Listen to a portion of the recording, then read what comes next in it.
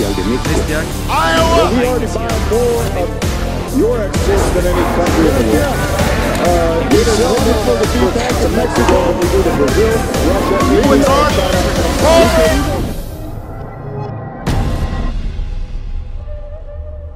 ¿Qué consecuencias se han registrado en Cajeme a partir de las últimas lluvias que han caído aquí? Y las consecuencias son mínimas. Daño no hemos tenido, ya ve que el paso de- los pasos de desniveles son los que todo el tiempo teníamos problemas. Ahorita ya hemos superado la administración, esta estamos superados con los pasos de desniveles, buen trabajo que se le ha hecho, en la cuestión se han metido unos cárcamos, unas bombas de servicios públicos. Ya ve que el parque infantil también teníamos que se inundaba, había veces que hasta el zoológico fallecían los animalitos, ahorita no tenemos ese problema porque por los trabajos que se le han realizado.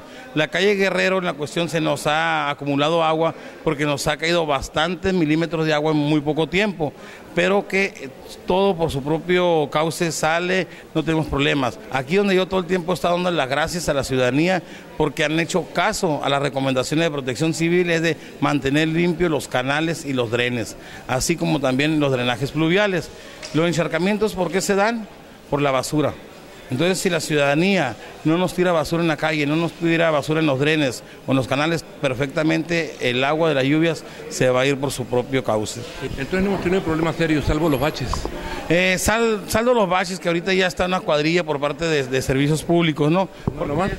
No nomás uno, son varios los que salen en la ciudad, pero se está trabajando en ello. Por eso el ingeniero Cornejo está trabajando, está poniendo en pie son las instrucciones del señor presidente que tenemos. En todas partes se ve el pavimento destrozado. Mire, al momento de caer agua, al momento de remojarse el pavimento, al momento de, de circulación de vehículos, se remueve el pavimento.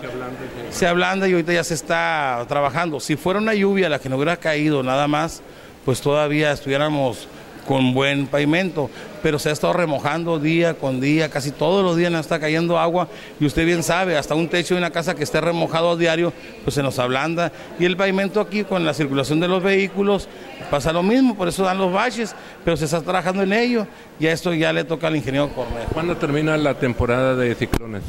El 30 de noviembre. Empezó el 15 de mayo y termina el 30 de noviembre. ¿Todavía tenemos posibilidades de que alguno nos pegue por aquí? Sí, todavía tenemos porque son 14 en el Pacífico y ahorita van 9. Van 9, todavía nos Faltan faltan, cinco. faltan 4 o 5 que se puedan formar los 14 o pueden pasar a 15. Ahora, en la historia del municipio de Cajeme, del mes del 15 de agosto al 30 de octubre es cuando nos han caído las más fuertes lluvias y los tipos ciclones. En septiembre es cuando han pegado los ciclones aquí. Así es, mire, lo que viene siendo mayo, mayo, junio y julio, nosotros no tenemos problemas. Tendrán el problema por allá por el sur. Pero ya lo que es 15 de agosto para adelante, agosto, septiembre y octubre. Y eso termina el 30 de noviembre. Entonces, ahorita que si va a llover, no va a llover, son los sistemas climatológicos que tenemos y estamos dentro de la temporada de lluvias. Muchas gracias.